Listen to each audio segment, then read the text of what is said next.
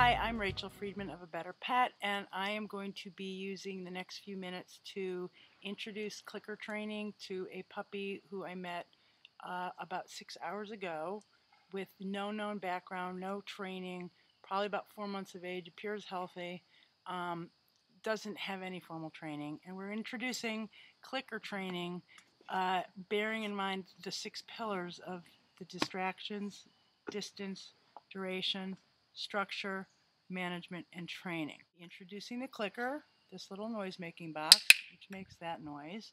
And I'm going to be using as treats um, dog food. It's not too high value to overstimulate the dog who's underweight and probably would eat anything, very food motivated.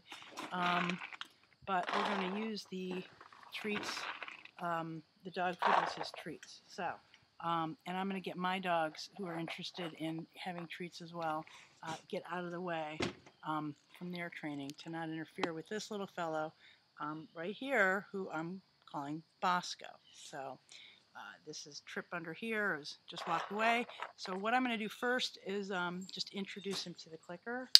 So for making eye contact, I click and give him a piece of food. He makes eye contact. I click, I give him a piece of food. He makes eye contact. I click. I give him a piece of food.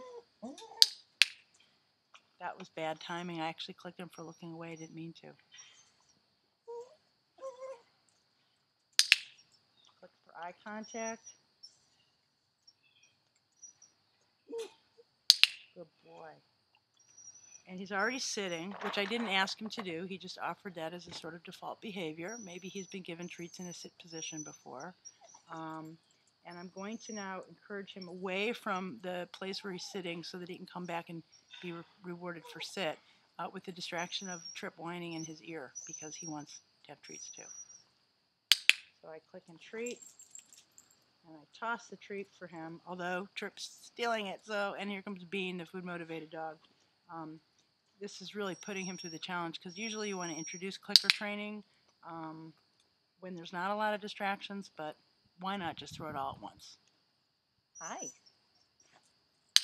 So he did come back, and I did click and treat him while I was talking to the camera, uh, since I could see him um, through the camera, uh, for sitting. So I'm going to just sort of give him a moment to think, despite the distractions of dogs and now the cat.